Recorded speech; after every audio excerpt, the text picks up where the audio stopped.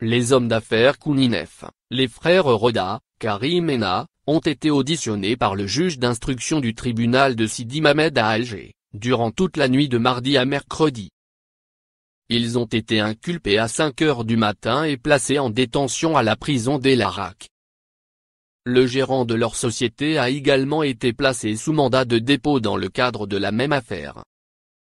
Selon une source proche du dossier qui s'est confiée à Tsa, les frères Kouninef sont poursuivis pour quatre chefs d'inculpation, trafic d'influence avec des fonctionnaires publics pour l'obtention de privilèges, détournement de fonciers et de concessions publiques, blanchiment d'argent et financement occulte de partis politiques.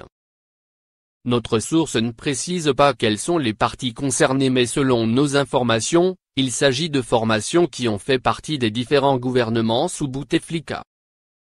D'autres auditions sont prévues dans les prochains jours pour mettre toute la lumière à propos des accusations contre ces hommes d'affaires, a ajouté notre source.